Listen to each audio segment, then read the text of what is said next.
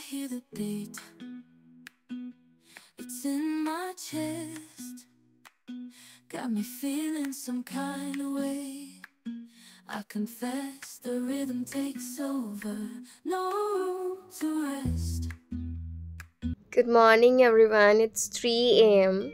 तो आज मुझे काफ़ी जल्दी सो कर के उठना पड़ा क्योंकि कल रात सडन ही मैंने कुछ प्लान किया था और मैंने अपनी फ्रेंड को कॉल किया। मैंने बोला, सुन, कहीं घूम के आते हैं और ब्लॉग श्लॉग करेंगे, अच्छे से घूम लेंगे। तो सुबह जल्दी तैयार हो जाना सुबह सुबह ट्रेन लेनी है हमें।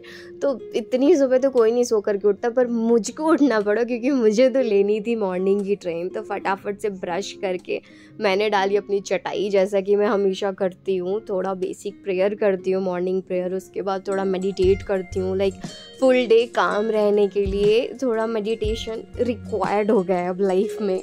उसके बाद फिर मैंने जैसे डेली मैं अपना दिन भर का प्लान करती हूँ कि मुझे क्या करना है, कैसे करना है। तो मेरी एक छोटी सी डायरी है, उसमें मैंने अपने पूरा रूटीन प्लान किया और प्लान करके डायरी को डाला अपने बैग में रेडी होके किया मैंने morning intro video shoot hello everyone welcome back to my channel तो आज मैं निकल चुकी हूँ मेरे एक नई ट्रैवल ब्लॉग के लिए।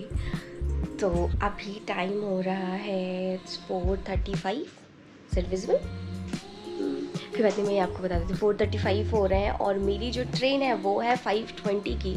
और यहाँ से मुझे स्टेशन पहुँचने में लगते हैं अप्रॉक्स थर्टी मिनट्स तो मैं फटाफट से अपना बैग उठाती हूँ और पहुँचती हूँ स्टेशन तो मैंने ली कैब और सीधा मैं पहुँच गई रेलवे स्टेशन और मेरी फ्रेंड मुझसे पहले ही आ करके बैठी हुई थी तो हमारी हुई हेलो हाय उसके बाद मैंने निकाला कैमरा और बाहर अब सूरज ऊपर आने लगा था तो नज़ारा काफ़ी खूबसूरत था तो मैंने उसे किया अपने कैमरे में कैप्चर और सीधा हम पहुँच गए हमारे डेस्टिनेशन पे, जो है आगरा का डाबरा।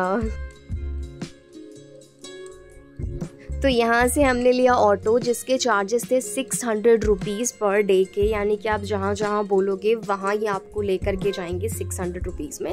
फिर हमने ली टिकट अपनी फ़र्स्ट डेस्टिनेशन में एंट्री करने के लिए। तो चलिए पहुँचते हैं। फ़र्स्ट डेस्टिनेशन हमारी आज कौन सी है? वहाँ पहुँचते हैं और उसको करते हैं explore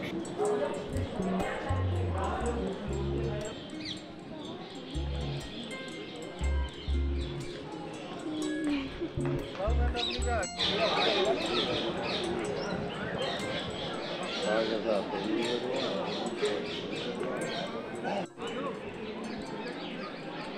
everyone, welcome back to my channel. तो आज मैं अपने नए ट्रैवल ब्लॉग के लिए निकल चुकी हूँ और मैं पहुँच चुकी हूँ एक ऐसी डेस्टिनेशन में जो आपने थंबनेल में ऑलरेडी देख लिया होगा कि मैं कहाँ आई हुई हूँ। पर ये जगह लाइक वर्ल्ड वाइड लोग यहाँ पे आते हैं। ये है ताजमहल। अभी मैं यहाँ के गेट पे ही हूँ। अभी अंदर जाऊँगी एक्सप्लोर करूँगी। मैं ढूंढ रही थी कि ताजमहल है कहाँ पे, क्योंकि यहाँ मुझे बस लाल लाल सी चीज़ें दिख रही है। फिर मुझे लगा, क्या मैं लाल किले में आ गई हूँ? पर लाल किला तो दिल्ली में और मैं तो आगरा में हूँ। तो अंदर जा के देखते हैं ताजमहल। तो ताजमहल की एंट्री की जो टिकट है, वो है फिफ्टी रुपीज़ की और अगर आपको मकबरे के ऊपर जाना है तो उसके चार्जेस हैं two fifty rupees depends on आपकी चॉइस आप सिर्फ़ एंटर करना चाहते हो या मकबरे पे भी जाना चाहते हो?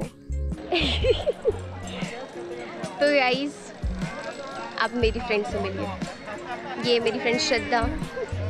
और हम साथ में आए हुए हैं अपना एक टारगेट पूरा करने के लिए। मैं बताऊँगी आपको क्या था टारगेट मैंने इसे कहा था, एक दिन मैं आऊँगी और तुम्हारे सामने खड़े होकर के तुम्हें नज़रें उठा के देखूँगी, किसे? ताजमहल को। तो मैंने अपना प्रॉमिस पूरा किया और ये मेरी चेकलिस्ट चेक तो जो भी कहा जाए, ताजमहल है तो खूबसूरत। तो ताजमहल की खूबसूरती को कैप्चर करने के बाद मुझे पास में ही दिखा ये वुड कटर जो कि पेड़ में टक टक टक टक कर रहा था। तो मैंने अपना कैमरा निकाला और मैंने इन्हें भी कर लिया अपने कैमरे में कैप्चर और निकल गई हमारी सेकेंड डेस्टिनेशन के लिए। तो सेकेंड डेस्टिनेशन भी काफ़ी ज़्यादा खूबसूरत है। तो अंदर घुसने से पहले ले लेते हैं टिकट तो मेरे हाथ में दो सौ का नोट और वो मुझे फिफ्टी फिफ्टी की दो टिकट देने के बाद सौ रुपये वापस करेंगे और हम एंटर करेंगे हमारी सेकेंड डेस्टिनेशन में।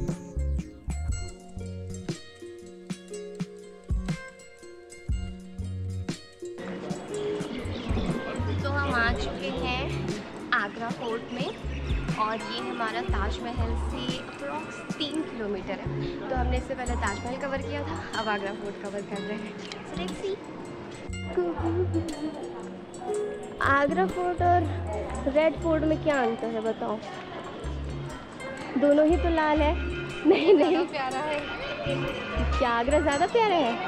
ये आगरा है इसको आगरा फोर्ट बोलते हैं और उसको लाल फोर्ट क्यों कहते क्या वो लाल में है? ना ना ना उसका अच्छा।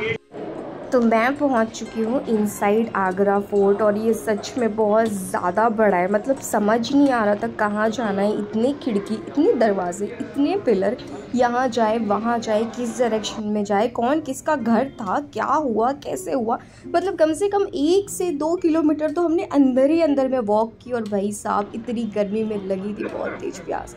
तो पानी पीने के बाद हमने डिसाइड किया कि हमको लेना है एक गाइड अच्छा यहाँ के गाइड बहुत ही ज़्यादा हाई चार्जेस मांग रहे थे मतलब 900 या हज़ार रुपये तो आप उन्हें अपने अकॉर्डिंगली कम उनके रेट्स करवा सकते हो, उसके बाद आपको सारी गाइडलाइन मिलेगी कि कहाँ पे क्या था, कौन सा शाहजहाँ का था, कौन सी मुमताज़ का था, उनके बच्चों का था, कहाँ पे रुकैया बेगम थी, कहाँ पे जोधा थी। मतलब सारी डिटेल्स फिर आपको वो अपने से देख के फिर आपको समझ में आएगा कि, ओह एक्चुअल हिस्ट्री क्या है इसकी? अदरवाइज़ तो फिर मैशअप ही मैशअप है। इतने सारे पिलर दरवाजे गेट देख करके फिर तो कुछ नहीं समझ में आना। पर हाँ जो भी है है बहुत ज़्यादा खूबसूरत। अच्छा हमने भी गाइड लिया था तो हमें तो सारी चीज़ें क्लियर हुई कि वो क्या रहा है? कौन सी जगह किसकी थी? और ये काफ़ी खूबसूरत था लाइक सच में बहुत प्यारा था ये।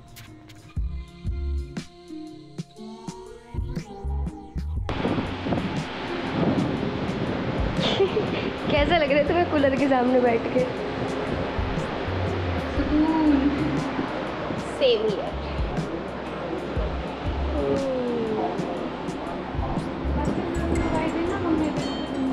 जब आप घूम के पूरे थक जाओगे तो यहाँ पे कूलर वाला स्पेस है, वहाँ पे चेयर बजा के आराम से आराम करना, कूलर की हवा लेना। अच्छा इसके बाद हम पहुँच गए अपनी भूख मिटाने के लिए, यानी कि दोपहर हो चुकी थी तो लंच करने के लिए हम पहुँच गए एक नियरेस्ट रेस्टोरेंट में, जहाँ पे हमने अकॉर्डिंगली फ़ूड ऑर्डर किया। मतलब बहुत ज़्यादा ही खाना ऑर्डर कर लिया कि बस बहुत तेज़ भूख लगी है, अब जल्दी जल्दी पेट भरो।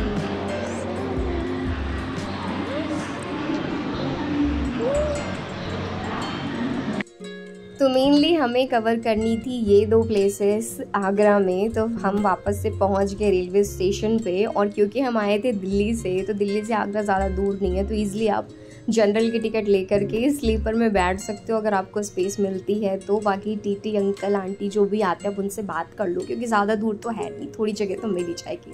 फिर हम पहुँच गए शॉप पे लेने के लिए रेल नीर क्योंकि बहुत गर्मी थी और प्यास तगड़ी लगी थी।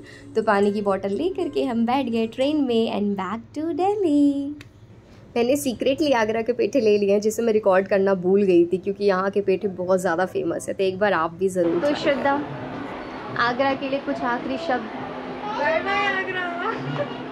तो हम आगरा से निकल चुके हैं। आगरा का सफ़र यही ख़त्म होता है। इसके बाद मुझे करनी है एडिटिंग मेरा कैमरा